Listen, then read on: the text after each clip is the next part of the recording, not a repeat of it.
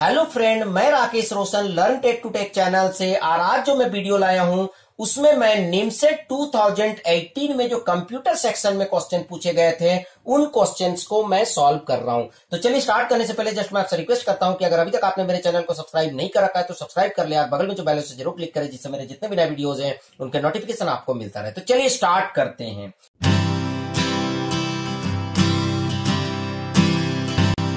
तो यहाँ पर आप देख रहे हैं क्वेश्चन ये है कि root under two two four और यहाँ पर इसका बेस आर दिया हुआ है इक्वल टू थर्टीन और उसका बेस आर दिया हुआ है। तो यहाँ पर हमें आर का वैल्यू निकालना है। तो दोस्तों, यहाँ पर जो हमारा क्वेश्चन है, वो है root under two two four base R equal to thirteen base R तो यहाँ पर हमें आर का वैल्यू निकालना है। तो सबसे पहले यहाँ से रूट हटा के इधर स्क्वायर कर देते हैं। तो टू टू फोर आर और यहाँ पर थर्टीन स्क्वायर और बेस हमारा आर ही रह गया। तो अगर कोई बेस आर होता है तो उसको हम कैसे सॉल्व करते हैं? यहाँ पर two into R square two R और फिर फोर उसी तरह यहाँ पर क्या हो जाएगा? One into R plus three और उसका पावर टू क्यों ऐसा कर रहे हैं? क्योंकि जैसे आपको पता है कि अगर कोई नंबर आपका वन ज़ीरो वन है, और ये बाइनरी में होता है तो आप क्या करते हैं? वन इंटू टू का power two zero into two का पावर वन और वन इंटू टू का पावर ज़ीरो वही सेम काम हम यहाँ कर रहे हैं। यहाँ पर लास्ट डिजिट में फोर का फोर इसलिए लिख रहे हैं क्योंकि आर का पावर ज़ीरो करेंगे तो फिर वन ही आएगा इसीलिए। ठीक है? अब इसको आपको सॉल्व करना है। Two R square plus two R plus four और ये आर प्लस थ्री का होल स्क्वायर हो जाएगा तो क्या हो जाएगा? R square plus six R plus nine यहाँ पर आप इसको आप सॉल्व कर सकते हैं। टू आर आर स्क्वायर है तो two R square minus R square R square हो जाएगा। यहाँ टू आर है यहाँ सिक्स आर है तो माइनस फोर आर हो जाएगा। फोर है या नाइन है तो four minus nine minus five हो जाएगा। अब इसको आप फैक्टर कर लें तो यहाँ पर अगर हम फैक्टर करेंगे तो minus five R plus R minus five equal to zero तो आर कॉमन हो जाएगा तो R minus five plus one R minus five equal to zero. तो अगर इसको हम फिर से यहाँ पर देखते हैं तो क्या आ गया? आर माइनस फाइव और R plus one equal to zero तो यहाँ पर आर का वैल्यू माइनस वन और फाइव निकला तो बेस कभी भी माइनस में नहीं हो सकता है पॉजिटिव में ही होगा तो यहाँ पर आंसर आपका आर इक्वल टू फाइव आ गया। तो दोस्तों, इस तरीके से इस क्वेश्चन को आप सॉल्व कर सकते हैं।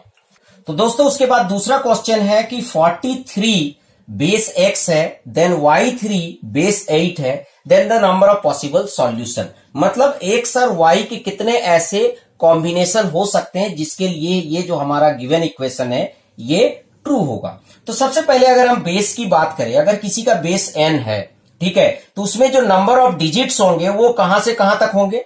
ज़ीरो से लेके एन माइनस वन तक होंगे। जैसे आप देखेंगे, अगर बाइनरी है तो ज़ीरो वन, अगर ऑक्टल है तो ज़ीरो से सेवन क्योंकि उसका एट बेस होता है। अगर हेक्साडेसिमल है तो ज़ीरो टू फिफ्टीन क्योंकि उसका सिक्सटीन बेस होता है। तो एक कम तक होगा ज़ीरो से स्टार्ट होगा।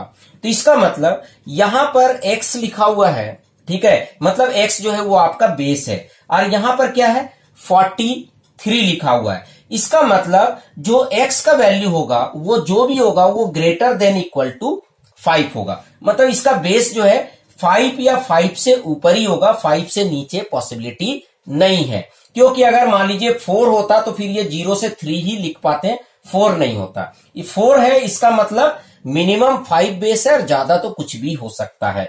उसी तरह, अगर हम वाई की बात करें तो यहाँ पर क्या है एट है। इसका मतलब ज़ीरो से सेवन डिजिट ही हो सकते हैं। इसका मतलब y जो होगा, वो क्या होगा less than equal to seven होगा। मतलब सेवन होगा या सेवन से कम होगा। ठीक है, ये पॉसिबिलिटी हमारा बन रहा है। अब हम इसको सॉल्व करते हैं, जैसे इससे पहले वाला इक्वेशन सॉल्व किए थे। तो four into X plus three equal to Y into eight plus three तो ये अगर हम इसको सॉल्व करेंगे तो देखते हैं क्या आता है।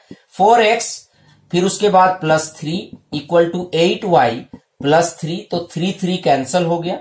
तो यहाँ पर four X equal to eight Y तो फोर टू जा एट तो यहाँ पर हमारा निकल के आया X equal to two Y इसका मतलब x का जो वैल्यू होगा, y से दुगुना होगा। ठीक है? ये पॉसिबिलिटी है। अब हम देखते हैं कि अगर इसके हिसाब से अगर देखें, इन दोनों के हिसाब से और फिर x का वैल्यू y से डबल हो, इस पॉसिबिलिटी को अगर हम देखें तो कौन कौन से कॉम्बिनेशन निकल सकते हैं?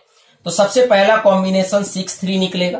क्योंकि यहाँ पर देखिए, y का वैल्यू अगर आप थ्री लेंगे, ठीक है तो सेवन से छोटा है। पहले आप ऐसे कर ले। कि सेवन से छोटा होना चाहिए वाई का वैल्यू तो आप क्या कर ले? Three four five six seven तक कर सकते हैं। अब देखिए फोर तो फोर का डबल एट होता है। तो एट जो है फाइव से बड़ा है तो बिल्कुल कॉम्बिनेशन बनेगा। ठीक है? उसके बाद फाइव है तो उसके बाद फाइव टू जा टेन तो यहाँ पर टेन कोमा फाइव लिखेंगे तो भी पॉसिबिलिटी बनेगा क्योंकि टेन जो है फाइव से बड़ा है। उसी तरह सिक्स कोमा ट्वेल्व और सेवन कोमा फोर्टीन। तो इस तरह से आपके इतने पॉसिबल जो है पॉसिबिलिटी बन रहे हैं इसके सॉल्यूशन के। तो एक, दो, तीन, चार, पाँच। तो इसका जो आंसर होगा, वो होगा फाइव इसका मतलब इसके जो नंबर ऑफ़ सॉल्यूशंस होंगे, वो फाइव होंगे। तो इस तरह से दोस्तों आप जो है सॉल्व कर सकते हैं। तो आपने देखा कंप्यूटर सेक्शन के जो क्वेश्चन होते हैं, वो बहुत आसान होते हैं बट थोड़ा ट्रिकी होते हैं और आपको कंप्यूटर की नॉलेज होनी चाहिए। और इन जितने भी क्वेश्चनों को मैंने बनाया, उसमें आपने देखा होगा कि नंबर सिस्टम का काफ़ी यूज़ है। तो आप नंबर सिस्टम अपना स्ट्रांग कर लें। इसके लिए आप जो है नंबर सिस्टम पे मैंने पूरा वीडियो बना रखा है अपने चैनल में। तो वहाँ पर आप जाके देख सकते हैं। और चाहे तो यहाँ पर लिंक भी आ रहा है ऊपर आई में तो वहाँ पर भी आप जाके देख सकते हैं। तो चलिए फ्रेंड आई होप कि आपको वीडियो पसंद आएगा अच्छा लगा तो लाइक करें शेयर करें कमेंट करें। और अगर अभी तक आपने मेरे चैनल को सब्सक्राइब नहीं कर रखा तो सब्सक्राइब कर लिया। बगल में जो बेल ज़रूर क्लिक करें, जिससे मेरे जितने भी नए वीडियो है, उनका नोटिफिकेशन आपको मिलता है। Thank you and goodbye